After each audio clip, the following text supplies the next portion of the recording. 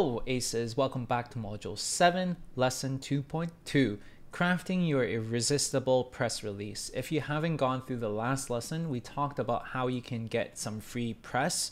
And in this lesson, we're going to cover how we can craft an irresistible press release that will attract coverage. So then that way journalists would actually be willing to put your article into and distribute it to their followers and subscriptions. So with your wow factor and information about your outlets and journalists, it is now time to create your irresistible press release. If you don't know what I'm talking about, wow factor, nor do you not know how to find the outlets or journalists, it is time to go back to the previous lesson, 7.21.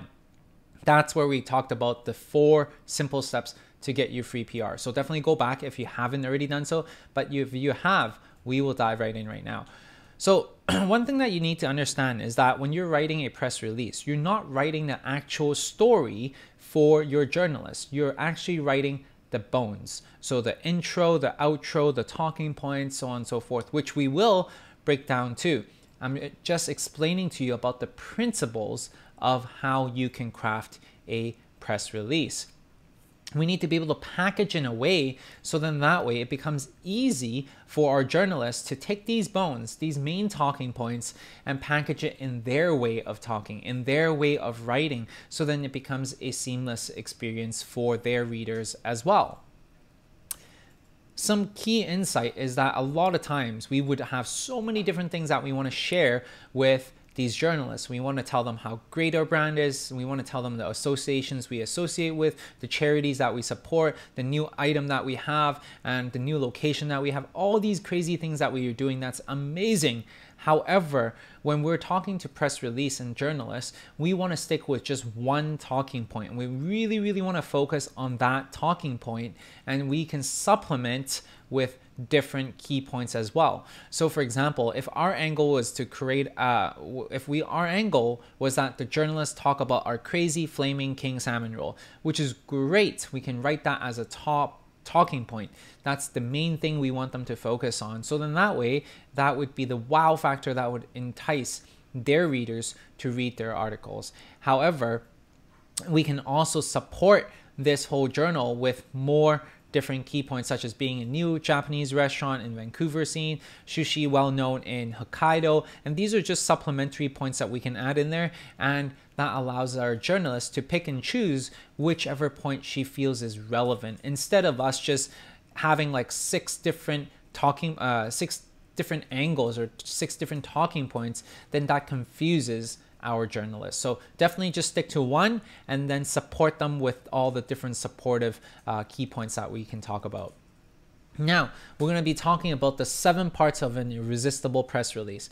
First off, we want to have a very wow and really eye-catching headline. So for us, we wrote something like world's first cannabis infused soft serve ice cream in Vancouver right off the bat, we tell the our audience and we tell our journalists exactly what the wow factor is, which is having a cannabis ice cream in Vancouver.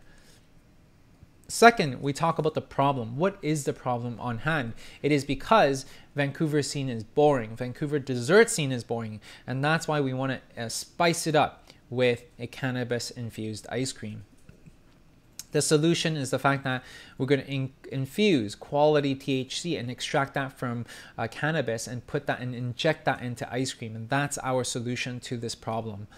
Some of the quotes that we, uh, our journalists can possibly use to to paint a better picture in her article. So that's why we want to include quotes as well, just to paint a better picture and just to be more descriptive.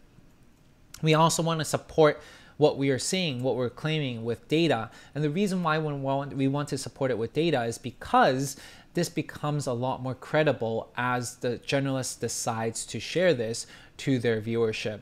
And then a call to action. What do we want our viewers to do after they view this? Ours is to come and check us out. We have uh, we're only available uh, for two weeks uh, from April 5th to 14th at all three of our locations. And then as a summary, what is it that we're doing? So these are the seven parts to creating an irresistible press release. Be agile and also be very careful in terms of how you craft this. We don't want to write a whole essay like I was saying. These are the bones, these are the items, and these are the main points that we want to put into our press release. And if you follow this format, your chances and your likelihood of getting picked up by journalists would skyrocket. And that's how we were able to get tons and tons of articles published for free. That's worth tens and thousands of dollars. So definitely this press release format works and that's what I'm sharing with you. And in the link below, download the template and uh, template and follow along to put in your own um, spin and your own wow angle into this. In this lesson, you've just learned how to create that irresistible press release. Download it from the link and follow along to create your very own. In the next lesson, we're going to be talking about how you can target journalists through Facebook ads to get coverage. We talked about the FOMO enhancer. And there's a part within FOMO enhancer that we talked about is to run ads to target journalists within your area. So then that way it's in their face. And as the more that it's in their face, the more likely that they're going to cover it. So I'll see you guys in the next lesson.